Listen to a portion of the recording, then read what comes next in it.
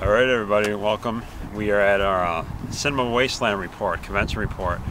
Um, actually, though, we are um, in a Walmart parking lot for this report. Um, actually got recommended this this idea by a, a, friend of mine whose opinion I value deeply.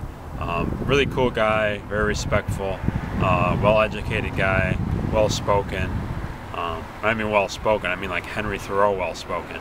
Uh, cool guy, but yeah, he suggested uh, instead of going to Wasteland, which I've been doing for years, why not this time out uh, come hang out in a Walmart parking lot? At first, I was of course skeptical, but uh, I definitely consider myself a don't knock it you try it kind of guy. So I figured give it a shot, save me some gas money, and uh, I'm gonna do that right now. We got some friends coming, I got some beer, so we're gonna hang out here in the Walmart parking lot.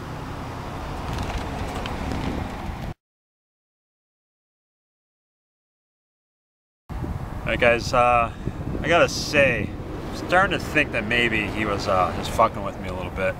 Um, I mean, it's fine, but not as good as Wasteland. Um, I mean, I kind of miss the being shoulder to shoulder with uh, people who refuse to wear deodorant, and there's no chick crushing cans with a vagina. Um, although, seeing some of the people that come in and out of here, I think there's still hope for the, rest of the day. Um, but yeah, anyway, make the best of it. There's always next year for Wasteland. Um, but I'm actually gonna go in now and buy something, even though I've spent tons of money in, in uh, Walmart in the past, many many dollars and a lot of support. It'd be kind of lame if I came here and just hung out in the parking lot with friends and didn't actually go in and buy anything. That would make me a douchebag. I don't want to be one of those. So I'm gonna go see what they got inside and. Uh, my Walmart Wasteland report.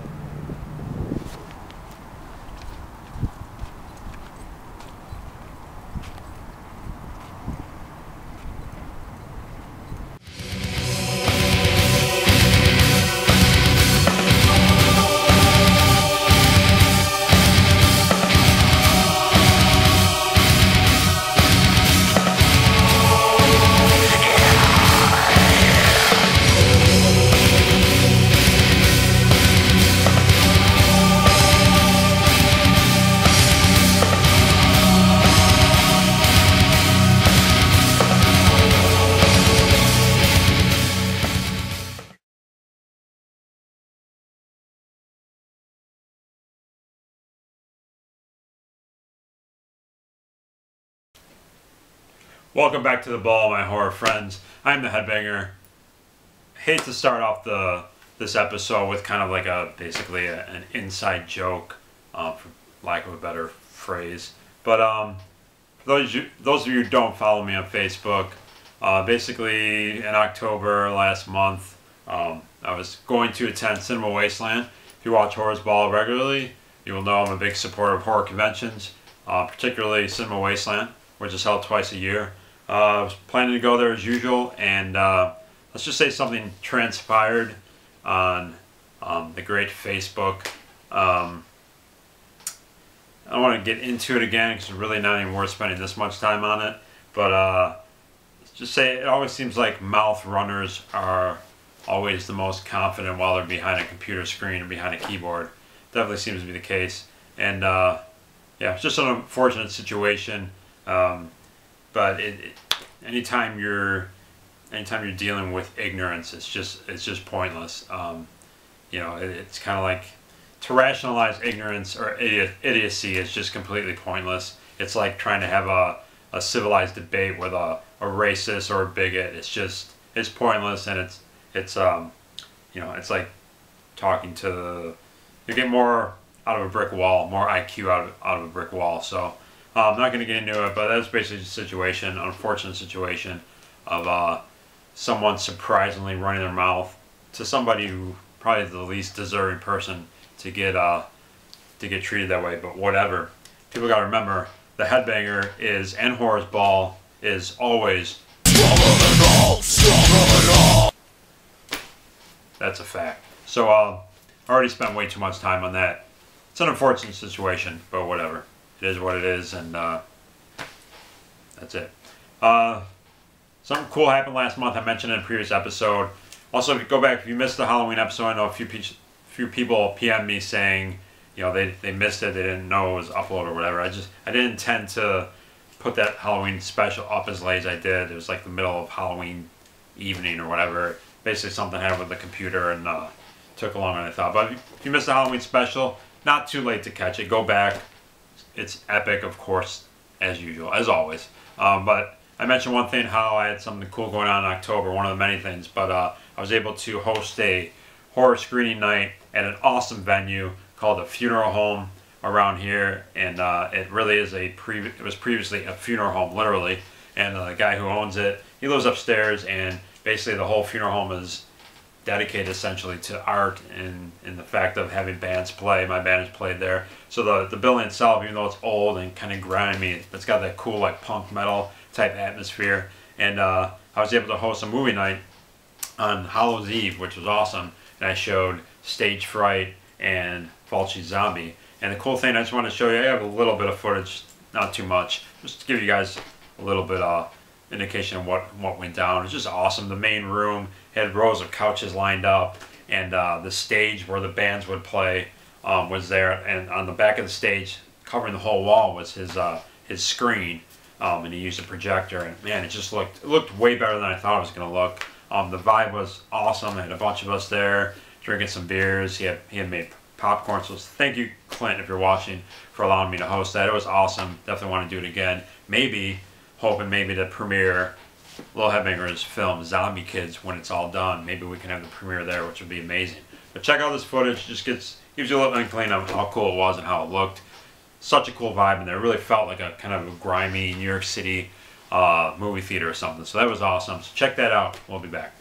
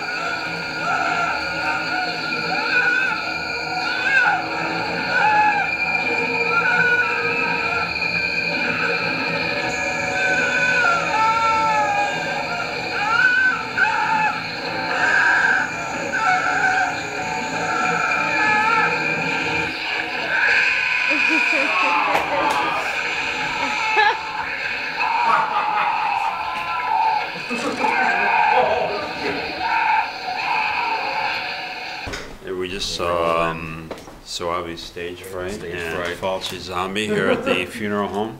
which is a real funeral home. It was formerly, Formerly, not, yeah. not actively anymore. Um, it's Hallows Eve. So what a perfect way to spend Yeah, that was, that was amazing. watching uh, on this awesome screen. So look at that. It's big, and there's you can't see couches, but there's couches, and it's big.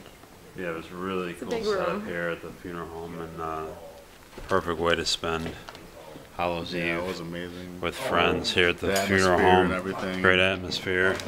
This is Jared from the Stop. I am one of Tom's friends. we get to watch movies. So yeah, this was an amazing night. We want to To thank of a better uh, way to spend the night. exactly man. at a former funeral home here. We want to thank uh, Clint for having us here. Hey. The bearded Amish. Huh? So was an awesome night and uh, happy Halloween. And there's the cat, the fucking cat. Spooky. Spooky. Hey, you're a star. You're the star of the show. For a while. that was awesome. Trying to make sure she didn't poop in there. Just randomly poop. Go on stage for Anakin. Happy Halloween, everybody. Yeah, it's it's tough to tell, you know, with the the camera, the quality, but this was like, the film was, you know, it was on a really basically a whole wall, so it really felt like an actual movie theater. It was just awesome seeing two classic films, Italian horror films like that, on Hallows Eve. It was with friends, and it was just awesome. So, uh, kind of a shorter show today, which may be a relief for some of you. Uh, most of you, I assume not. You're like, no, Headbanger, we love your hour-long shows, but uh, a little shorter because I got a lot going on. Um, for those of you who know me, I work retail, so it's a horrible time of the year. I'm going to be really busy coming up. So this will be the last episode before the big season finale. In case you missed it earlier, Horrors Ball documentary, Behind the Horrors Ball. Um, that'll be the season finale this year. Probably air right around Christmas. Uh, so check that out. So this is the final regular episode before that. Um, so I have a segment coming up next. This will be the final Just Fucking Buy It segment, which was one of the winners in the contest. Um, so a we actually shot this back on when we had our um, the season premiere of this season, the Golden Horn Awards. We had shot this segment that day um, during the after party. So yeah, keep in mind we've had a, several drinks while doing this, but uh, at the time we shot it, we didn't know what the review would be for. So it's perfect for this segment because it is a just fucking buy movie. Um, if you've seen it or not, check out this review. Got to have this film in your collection. Um, so enjoy this review, and we'll come back. I'll have the final mailbag of the season, showing you something cool that I've gotten recently, and uh, that'll be it for this episode. So check out this segment of Just Fucking Buy. Awesome film. All right, everyone, I need you to go to the store, buy a cheap notebook. Every film that I recommend in this segment that you have not yet seen or don't own, write it down in the notebook. On the front cover of this notebook, I want you to write these four simple words. Just fucking buy it. Why wouldn't you? Just fucking buy it. Just Oh, effing buy it.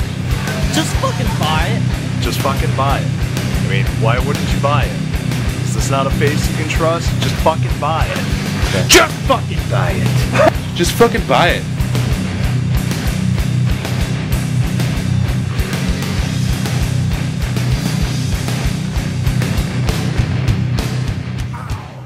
All right, guys, we are here for a uh, recommendation of a film from what year is this? 07. Oh, Oh, wait. Oh, wait. We'll call it 08. Um, a film that I honestly don't hear too much about. But um, first, let's say what we're drinking. I'm drinking Stone IPA, India Pale Ale. Really cool. It's got the devil on there. Uh, what are you drinking? 26? The uh, Shipyard Bluefin Stout. And I got the Monty Python Holy Grail. That is ale, beer. Which is fucking awesome. First time Uh, you had it, right? That's the first time I've had it. It was So- really good. And it only adds that it's Monty Python. Uh, Monty awesome. Python beer for you, those of you who don't know. Cheers Yeah. Cheers. to this film we're about to recommend. This is 2008 by Jamie Blanks. Jamie blanks. Storm Warning. Storm warning. Definitely a, a, Fucking a check it out. great horror film that I don't really hear too many people talk about. I don't really see that around a lot either or nothing like that. It's not really. Unfortunately, his other film was Urban Legend. Yeah. But uh, we all make mistakes, right? Um, You learn from your mistakes. We actually And, uh, just watched. we've all seen this, but we just watched it To to refresh our minds, and uh, I just love it. Um, basically, story is you know I don't want to talk about plot a lot, but a couple goes on a fishing, nice little romantic fishing trip. They get lost in Australia. Um, they end up on kind of this little island, and they go for help, and they of course end up with this crazy backwoods. Uh, Australian Aussie psycho psycho family, just three guys, guy's house, and from there, chaos ensues. Yeah. Um, I guess touch on good cast. I mean the the three, The brothers. the brothers, the, The two brother brothers, and father. father, And the father, yeah. over the top on purpose, but really good. the one dude was Great, yeah. one dude was hilarious. The main Oh, main guy. the main brother, like Volvo. He says, "Yeah, great, Yeah. great job by the." the the psycho hillbillies, everyone. Not, definitely not a No. Not an Can you original call plot. them hillbillies if they're No, Aussie, kinda, Not yeah. Aussie. I mean, they're You know, yeah. in a way they're they're, They're take, definitely hillbilly types. Yeah. Yeah. It's a derivative on the the whole southern, I guess, southern hick type. You know, with the the bad teeth and the Right. Yeah. dirty house and all that stuff. Basically, they're, Scumbags they're also unkept. They're also growing weed in their garage, which is like massive amounts of supposed to be taboo. Like, oh, these guys are bad. Yeah. I always thought- found that funny. You know, it's like they could have come up with something a little more crazy, but they're growing weed in like their a sweatshop or something. Yeah, exactly. I mean, who hasn't grown weed in their garage? I mean, we've all done that. That's a phase. I don't know what you're talking about, dude. But uh, so the cat and then the lead. We joke about this when uh, 26 and I rented this film. Remember renting? uh, back in the f- episode one of Horror's Ball, I called it the Those of you rental place because I forgot the Right. video store. For those of you So- in America, Blockbuster. Yeah, Blockbuster. um, we're allowed to say that or not Hollywood they're Video. they're now uh, Oh, they're They still- bankrupt. so I don't know if we're allowed to say Blockbuster anymore. but they exist still. Blank Buster. Anyway, I like how it was cool to actually rent a movie. I know some of you like you're all on VOD, video on demand, and downloading. I thought it was cool. Netflix. Friday night. 26 and I would go to B Buster and we'd pick out something, a cover that looked like old, you know, totally old school, like in the VHS days, and we'd.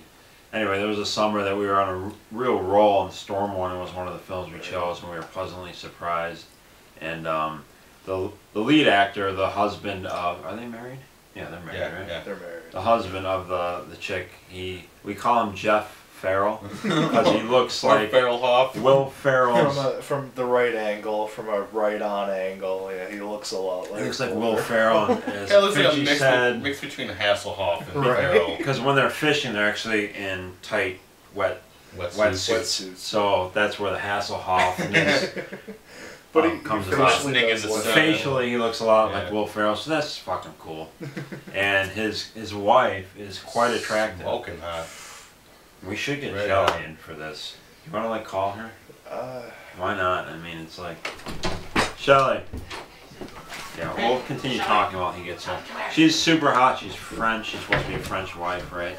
Um, she's curvy, which we like. We like Very curvy much chicks. so. There's a point. In, just come here. Just tell tell them why you Tell them think. nice folks. Very rarely do you support a chick. So tell them why you like the chicken Storm Warning. Oh, because she's a badass bitch.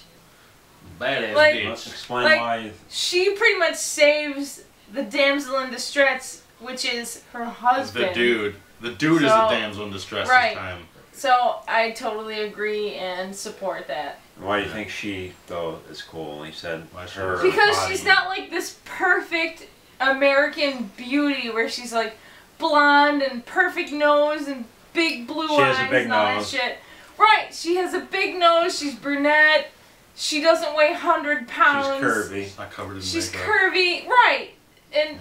she's no makeup. like there's rain in all the scenes that she's in and and she's her makeup isn't completely Disheveled. you know right like she's a natural, natural beauty. she's a natural out. beauty And she kicks ass. right and she she kicks ass right Awesome. Thank So- you. We wanted a Yeah. female Thanks for the perspective. insight. Thank you. i'm all Mrs. about Heather, that everybody. i'm Storm yeah, warning. all about that Thumbs up. Fuck blonde skinny bitches. Thank Didn't really need to go that far, but thank you. Thanks. To all you blonde fucking skinny bitches. We out apologize. that watching, We That totally was support you, uncalled for. and we appreciate you blonde skinny bitches watching us right now. But anyway, you get what she was saying. Yeah. Um, so yeah, so that- what really makes this film unique, I think, is what she meant so eloquently mentioned. Um, basically, Jeff Ferrell, Right. Will Ferrell's younger brother, maybe older brother, is Probably older. Yeah, he's older. he basically gets fucked up. He break, gets his leg broken, and He basically just, it's up. passes out. It's like, up just- to the wife. He's pretty She much basically becomes a Richard Dean Anderson on Right. crack. slash MacGyver. That's MacGyver. Um, It is, as you referred to it once, it is kind of the Home Alone slash MacGyver of horror. she takes she takes over control, creates contraptions, which are really cool. They, there's basically three main kills in this film. They're all really good and original. They're almost like old school slasher great, yeah, kills. great effects. Great eff- the effects Oh, in this film is Yeah. fantastic. As far as gore, All practical. fantastic gore in this film. Like that's another reason why I'm surprised I don't hear anyone talk about Storm One. Great gore. Very That scene, underappreciated. that scene with the obviously. fucking There's like Hooks fishing everything. reel hook scene is very to me like Clive Barker-ish. Um, and then when Yeah, she beats his much. head in, Oh, looks dude. fantastic. You Oh, see the was- eyeball. That was awesome. So great gore. Um, there's a we'll just say the bottle scene.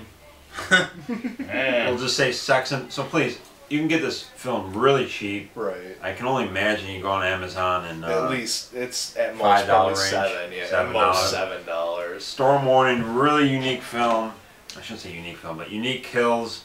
It's One cool the- to see the chick really take command. One of the uh, Dimension Extremes that's actually really good. At one point, they were They- really yeah, good. they were on a roll. they, they put out the American distribution of Inside. They put out um, what else did they do? They did several pretty good ones. Um, Uh, Black Sheep, Feast, Feast. the Feast movies. Black Sheep. They put out, and um, a few other ones. And but recently, yeah, I mean they're pretty much a defunct Yeah. label right now. I think um, Primal was Primal one. Primal, Primal was yeah. one of theirs. I Welcome to the. Jungle, was that? Yeah, one? Welcome to the Jungle, which was pretty awful. was one of theirs. There was some other, yeah, they had a, a string in 07, 08, 09 that was pretty good. They they at least helped release some good films to America. Right. And this is definitely one I think kind of slipped under the radar. It was kind of anytime you can rent something and you get pleasantly surprised. It's a cool cover. There was a cool Yeah. Region Two cover of this. But yeah, the the chick is super hot and she's just like an She's awesome hot.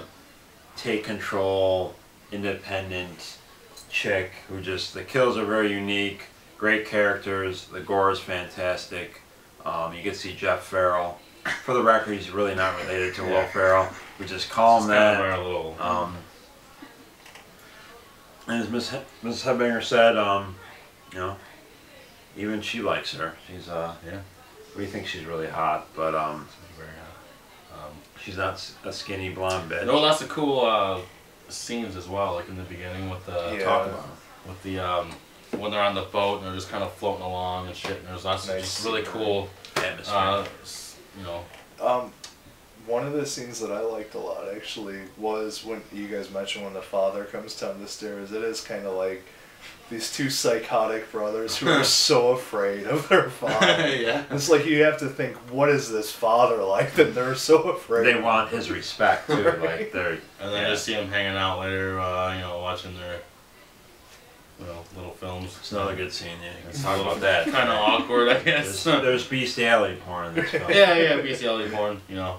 Not, You're I shouldn't Not, say that. yeah, you can't Not see graphic. it. They're But- they're watching a bestiality bestiality film. There's Together not as a actually, family. Yeah, there's not actually. Yeah, the son is actually. do. And rubbing himself. The while one watching. son is rubbing himself while his father holds him. Yeah, It's not as fucked up as it love sounds, lovingly to holding each other and. It's Yeah, not as graphic as it sounds, but it's still It's just, fucked up. it's just rather awkward.